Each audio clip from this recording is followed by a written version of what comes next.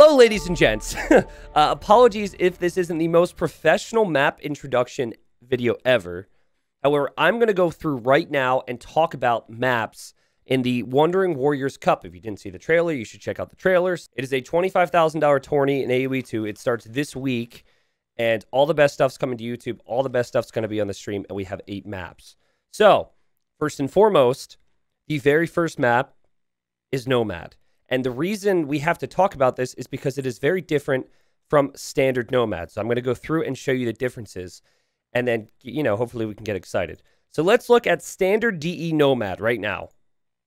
Notice the difference? Standard DE Nomad always has water in a full circle. So almost every single time you want to dock, and that's going to be the case for our Nomad. However, where you dock isn't really something you have to be as picky on. I'll generate a bunch of di different generations. This is actually super funny that there's a pond in the middle because this rarely happens for this Nomad. That as you look, it's normally like a circle with water around the ring. And that's about it. Um, the spacing uh, in terms of direction, you can go on land. It's always the same. It's just very consistent. Now, if you go to Wandering Warriors Nomad, we're going to take a look at that right now. We've made it a little different. So, uh, as you can see here, you know, you can dock, but you can also access the water over here. Um, uh, I'm going to actually zoom out more. We look at the next generation. Look at the next generation. And wow, okay, so docking's possible, but it actually connects to the edge of the map here, which means that if you dock maybe on this side and someone docks over on this side, it takes longer for them to get there. And that means that it's not just a fight for water every game type of scenario. You look again, you got more water towards the center. Occasionally, there's also crossings here, FYI, which we might see with these generations. But yeah, then you look at this gen, and this looks a little more similar to the other Nomad we were seeing. You can see this is actually connected here. So the point is, it's Nomad. You don't start with a TC. You don't have a guarantee of getting any resource, but it adds a bit more variety to the um, to the docking aspect, which I think is really important. As for the other resources, you know, other resources are spread throughout. Uh, we do have, I think, slightly fewer goats than the standard version of Nomad. So I'm excited about the regular Nomad. Uh, as someone who's playing in this tourney as well, that's one I'm going to have to work on. Well, let's talk about some of the other ones. Next one is Mired. Okay, so Mired, also a Nomad start. You can see the villagers started off in the center. And there's a lot of boars out here, okay? Players also start with a horse. You cannot attack with a horse, but it gives you a little bit of scouting. So players start in the middle. They'll likely town center out here somewhere. And then players will run into the middle to get boars and bring it back to their TC. There's a lot out here. Uh, I can't actually double click to see how many, but I think there should be eight. And of course, there's stone and gold and everything throughout. But typically, with the way the villas generate, they're going to be clumped up on one side. So the players are never going to end up directly next to each other, but they are going to be running to the same area to take the boars. Now, what will probably happen on this map is people could use the horse to try and block boars being brought in. So, like, if I'm bringing in a boar, which I can't do because it's an editor, the enemy could use their horse to block my villagers. So it could get really messy, really lamey, and really crazy as the games progress. But yeah, this is going to be a good map for civs like Mongols, civs like Berbers, maybe with the faster villagers. If you wanted to get crazy, uh, and maybe like I don't know, um, mill over here, which would be a little silly. That's actually a stretch. Maybe Japanese. But yeah, that is mired. Majority of the wood ends up being in the corner. And that's about that. Next map is Inundation. Inundation. Another one where you start towards the center. And you've got Hunt out here and you've got a horse. But you'll notice there's no boars. And then players have to walk over this. So you can walk over this in order to get to wherever they want to place their town centers. Now you'll notice around the outer ring, there's wood, there's stone, there's berries, there's things like that, but there's no gold. So you could try, like you'd have to practice some build orders, but you could try and TC the middle because you have hunt there. But I think if you create a lot of villagers out here, you're going to run out of wood, and then you're going to have to send villagers over here for a lumber camp. So it's it's like I like this map because again, there's pressure in the middle there's that temptation to TC right away to be on the gold, but I'm not really sure if that's the right way to play it. Of course, you do have the water aspect as well, These little uh, black squares, I think, are signifying some form of fish. No, I think that's a bug, actually. No, because this should be fish. If that's fish, that's a bug. I don't think that's actually anything. Unfortunately, the editor's a little glitched out, but um, I hope it kind of makes sense in terms of how this will play out. I have no clue what civs are going to be best for this one. I think like Persians and Malians, which are traditional nomad civs, could still be really good because they either have more wood or spend less wood on their buildings. But who knows, man? Who knows? All right. Uh, oh, sorry. That's another generation of inundation. Yeah, there's no way this is fish, right? There's no way that's fish. Let's take a look again at the next one. All right. This one is very different from any of the other maps we're seeing in Wandering Warriors Cup. This one is a classic and is called Houseboat. Again, pay no attention to the flags because the flags are just indicators of where resources are spawning. Um, so there's not going to be flags when players are actually playing. But in Houseboat, you start with the town center, unlike the other maps we've seen. You start with a transport, you start with three villagers, and you start with a scout. Now, the old version of Houseboat, because this is a classic map, if you've been in my community for years, 2016, I 2017, I used this map a lot. But um, the one tweak we did make is that we added a house out here for both players. Um, because if you didn't have a house at the start, you would be pop capped with five population, and players would have to scramble down a house, and it was just really annoying. So um, it is rather annoying to play, but you have shorefish around your TC to be able to bring in food, and then eventually you're transporting villagers to do everything else continuously all around the map. Um, and it becomes quite an expansive game, but also quite a different Dark Age, uh, quite different strategies you could go for in Feudal. You could fight on water here if you want to, but you also could go for scouts or archers or towers on land. And I'll show you a few different generations of houseboat just to show where players end up being. But it's normally pretty easy to scout where the opponent is because you just have to scout their water, but doing damage to them is a different story.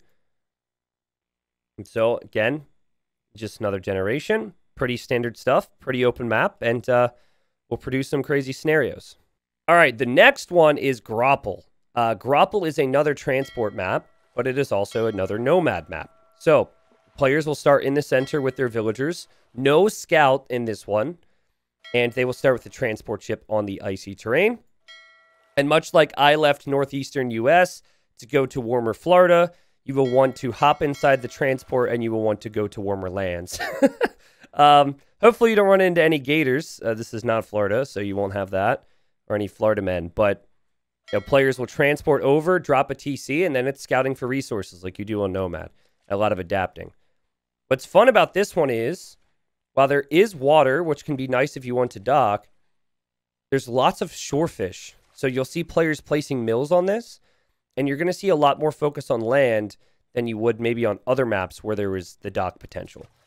Uh, yes, there's fish in the center, but overall, villagers onshore fish is actually one of the fastest food sources in the game, and there's going to be a lot of reason to control the land. Uh, just to show you more generations, honestly, nothing really changes uh, except for the slight position they're in in the center. Players are almost always going to hop inside the transport. And that, my friends, is Grapple. The next one is Golden Hill.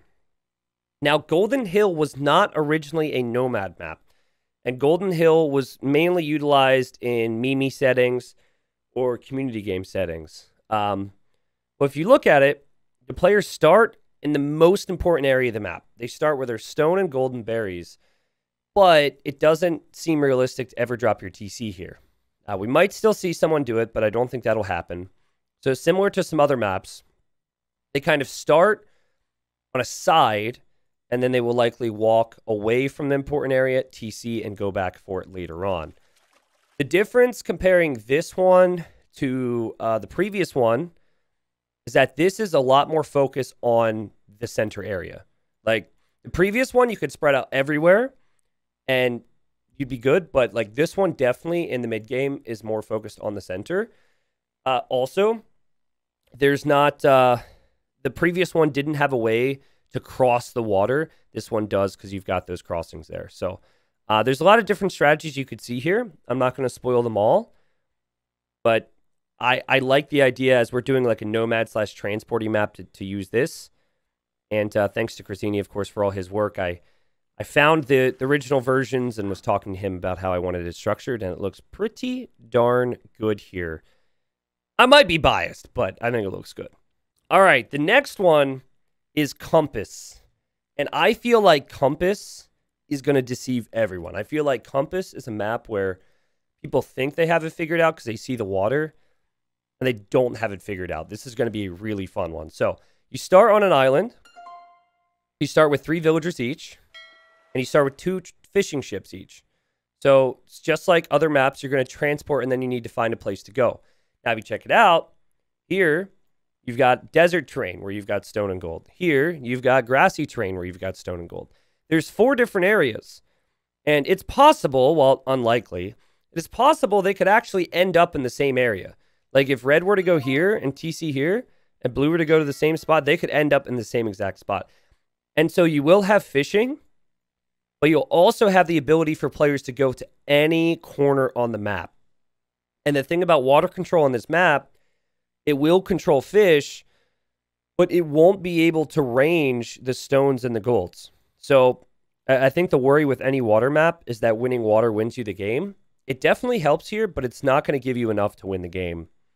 Again, I think it's going to produce really good games. Um, there's a lot of crazy things that could happen here, truthfully. I'm not sure what's up with the snow here. I don't think that's. See, that's water, isn't it? That's an editor bug. But yeah, Compass is one of my favorites going into this tourney. All right, and then the final map in WWC is Boundary Brawl. Um, it, it is similar to some of the other maps out there, but it is like much different in terms of how it starts. So you start with three villagers, and you are next to berries, hunt, and more straggler trees. Straggler trees being the important thing here, because in previous ones you didn't have any wood. So like this is as lamey as it gets. You're gonna have villagers. Now they can't fight with villagers, but you're gonna have villagers eventually like fighting for resources. Um, again, there's more reason to expand. There is also some reasons to have some docks. But while the similarities are here between this and others, this one will probably be TC next to TC. And there also is vision, unless I'm mistaken. And I actually, shoot, I should have told you guys this about, think it was Mired. Um, two of these maps, and I'll have to do my homework and put it in the comments on which one it is, have full vision in the center the whole time. So let's actually do a quick test. See this? So if we start off, and I drop my TC here, which I can't afford because this is an editor. if we were to drop our TCs here, we can at least see where the enemy is when they're in the center area. Which leads to less uh, running into the enemy TC, which can happen a lot in early game. And makes it a bit scrappier for some of the boars and things like that. That's my little overview for the maps for uh, Wandering Warriors Cup.